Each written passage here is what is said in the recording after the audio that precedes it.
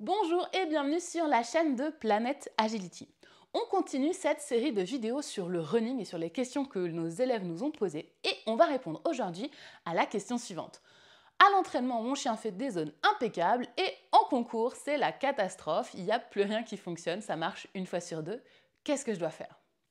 Il est très courant que les chiens soient performants à l'entraînement et moins performants au concours. D'ailleurs, ce n'est pas que pour les zones, hein, ça peut être aussi pour vos entrées slalom, vos départs, euh, la technique de saut.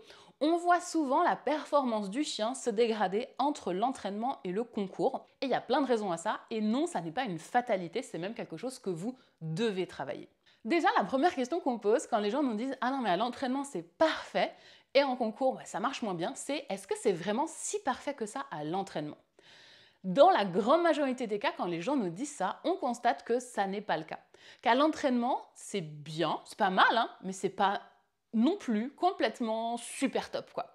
À l'entraînement, vous avez un peu tendance à jouer dans votre zone de confort. Vous n'allez pas trop challenger le chien. Vous n'allez pas chercher, par exemple, à accélérer très très vite et voir s'il fait quand même sa zone, ou à travailler avec plus de distance, plus d'autonomie. Vous n'allez peut-être pas faire d'ailleurs vos zones dans des enchaînements, dans des parcours.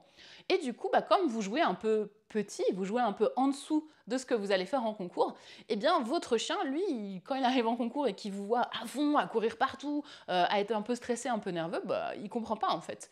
Et du coup, la pression que vous mettez involontairement, parce que c'est le concours et donc forcément vous êtes un peu stressé, la pression que vous mettez involontairement sur votre chien, elle conduit à ce que votre chien soit moins performant qu'à l'entraînement, parce que tout simplement ce paramètre pression, stress que vous amenez, eh bien le chien n'y est pas habitué à l'entraînement et donc il n'est pas habitué à avoir du challenge, à avoir de la difficulté. Donc c'est à vous de faire attention à ça à l'entraînement, de venir pousser votre chien, challenger votre chien, chercher des choses plus difficiles que ce que vous savez faire. Si quand vous passez votre chien, vous vous dites bon de toute façon ça je suis sûr à 100% que ça va marcher, eh bien ça n'est pas très intéressant parce que vous n'êtes pas en train de tester votre chien et de l'entraîner. Alors attention, hein, bien sûr je parle d'un chien qui sait déjà faire, un chien qui est en formation, un chien qui on est en train d'apprendre, c'est pas du tout la démarche qu'on aura. Mais un chien qui sait déjà faire, il faut qu'à l'entraînement, on pousse les choses au plus possible, au maximum. La deuxième chose auquel il faut qu'on fasse attention, hein, si on a un chien qui a des différences de comportement entre l'entraînement et les concours, c'est à faire des changements de terrain. Si vous travaillez uniquement chez vous ou à votre club et que bah, c'est toujours là que vous vous entraînez, votre chien il est habitué à un certain contexte, un certain endroit, et puis indirectement vous aussi. Hein. Et du coup, quand vous allez changer ce contexte, quand vous allez changer cet environnement, eh bien pour vous comme pour votre chien, bah, ça va être du nouveau un peu et ça va être perturbant. Les chiens ont beaucoup de mal à généraliser. Ils ont beaucoup de mal à se rendre compte que ce qu'on fait à un endroit, eh bien c'est valable à un autre. C'est très important dans la phase de préparation d'un jeune chien pour l'agility, mais même après une fois que votre chien est adulte, de faire régulièrement des entraînements dans d'autres environnements, dans d'autres contextes. Donc vous pouvez faire par exemple des stages, vous pouvez faire des changements de terrain avec des clubs, ça se fait, hein, des clubs qui s'invitent et qui du coup vont faire euh, un entraînement dans un autre club pour changer un petit peu de contexte. Vous pouvez aussi faire euh, des concours non officiels, hein, ça existe, où en fait, bah voilà, c'est pas un concours euh, qui est affilié à la fédération, mais ça permet de travailler notre chien sur des parcours. Parfois, on peut aussi récompenser notre chien, donc c'est intéressant si on veut venir apprendre à notre chien que bah, peu importe le contexte, peu importe où on est, on fait le même travail.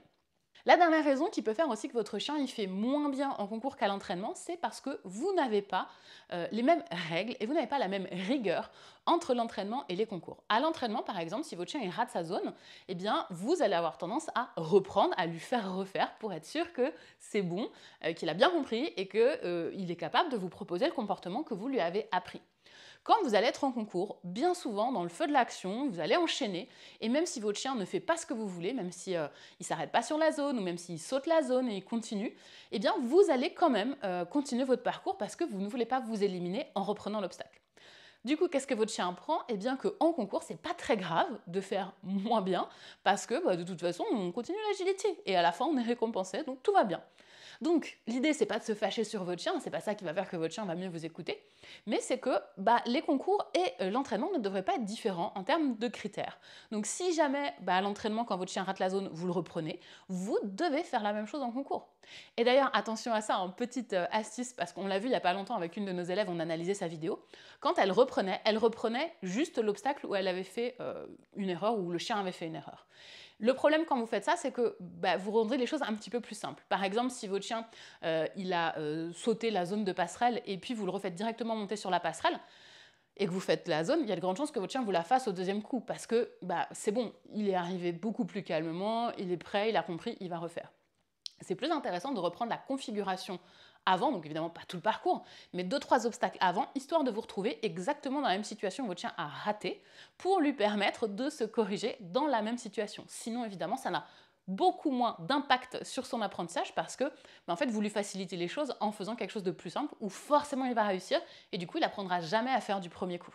Donc attention à ça, attention à toutes ces choses là. Si votre chien il a tendance à être moins performant en concours qu'à l'entraînement, c'est sans doute que vous faites des erreurs euh, sur euh, les trois raisons que je vous ai données. Et donc, bah, reprenez ces choses-là, revoyez comment vous faites vos entraînements, revoyez aussi comment vous réagissez en concours.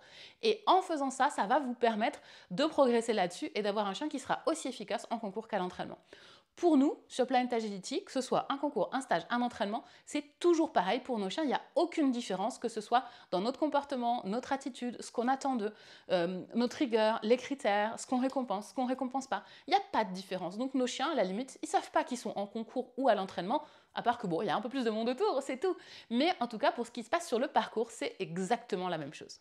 Voilà, si cette vidéo vous a plu, eh bien je vous invite à la liker et puis surtout à la partager si vous pensez que ça peut intéresser d'autres personnes. Comme vous l'avez vu, hein, ça concerne pas que les zones finalement, mais un peu tous les apprentissages en agility. Dans la prochaine vidéo, on répondra à une nouvelle question sur le travail des zones qui est je n'ai pas de passerelle, est-ce que je peux faire du running? N'oubliez pas de vous abonner, ça vous permettra de ne pas rater cette prochaine vidéo. C'était Pauline pour Planète Agility, je vous dis à très bientôt.